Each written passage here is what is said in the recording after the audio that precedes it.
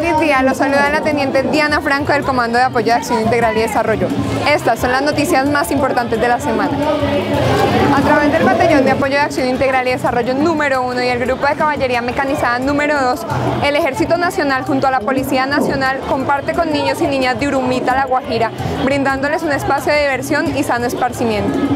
Nuestros soldados ORUS del Batallón de Apoyo de Acción Integral y Desarrollo número 2 llegan a los barrios La Victoria y San Martín de Sardinata, norte de Santander, entregando mensajes de tolerancia y convivencia a la comunidad.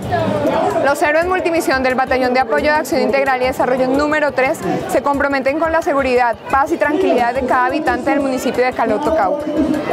En Barranca de Upía, el Ministerio de Defensa, la Alcaldía Municipal, comerciantes de la Corporación de Abastos de Bogotá y el Ejército Nacional a través de la Cuarta División, la Séptima Brigada y el Batallón de Apoyo de Acción Integral y Desarrollo número 4 adelantaron la cuarta rueda de negocios y mercado campesino, que agrupó a pequeños y medianos agricultores de la región.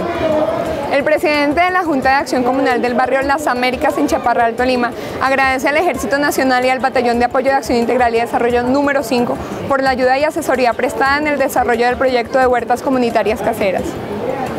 En el marco de la conmemoración del Día de la Tierra, niños, niñas y padres de familia del municipio de Belén de los Ondaquíes, Caquetá, junto con soldados del Batallón de Ingenieros número 12, General Liborio Mejía, y del Batallón de Apoyo de Acción Integral y Desarrollo número 6, sembraron 700 árboles en la vereda Agua Dulce como estrategia para combatir el calentamiento global.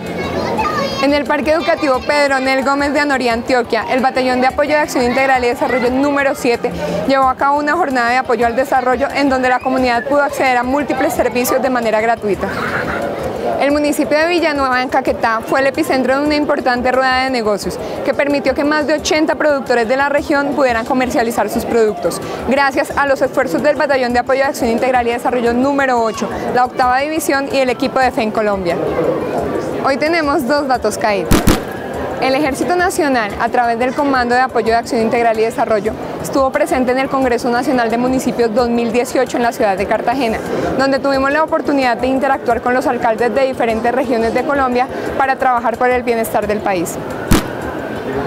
El segundo dato es la presencia del Ejército Nacional en la Feria del Libro, a través de stands distribuidos por diferentes pabellones del evento, exponiendo las capacidades de nuestra institución y velando por la misión de incentivar el hábito de la lectura en los niños y niñas de Colombia.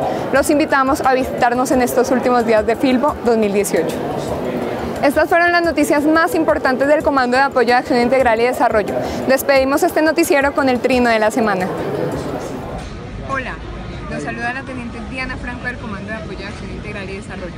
Hoy estamos desde la Feria Internacional del Libro, donde el país invitado es Argentina. Acompáñenos. Héroes Multimisión. Nuestra misión es Colombia, Ejército Nacional.